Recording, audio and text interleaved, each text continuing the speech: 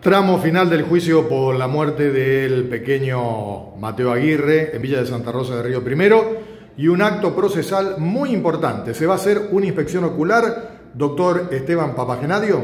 Así es, el día lunes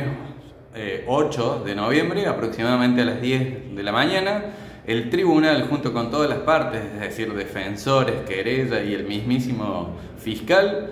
nos haremos presente en Villa Santa Rosa de Río primero a realizar la inspección ocular, una prueba que es fundamental y que fue pedido por esta querella, para que pueda el tribunal y todas las partes plantear tanto la existencia de la picada como así también el posible cambio de la carátula a lo que sería dolo eventual. ¿Ustedes van a mantener el pedido de la aplicación del dolo eventual, doctor? Efectivamente, por cuanto consideramos que cualquier persona que fue nacida y criada en ese pueblo y utilizaba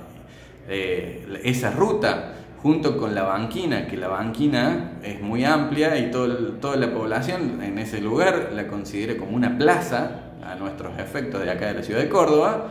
se pudo representar de un resultado criminoso, un resultado dañoso, una muerte, si hace una picada. Esta querella ha estado preguntando estas circunstancias y todos los habitantes de aquella localidad han dicho que sí,